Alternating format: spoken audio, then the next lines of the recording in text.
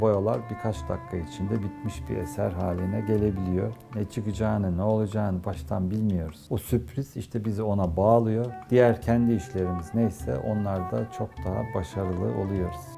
Ebru sanatında kendi adıyla anılan teknikler geliştirdi, Ebru'yu farklı disiplinlerle birleştirdi. Sanatına yaptığı katkılarıyla Yaşayan İnsan Hazinesi ödülüne layık görüldü.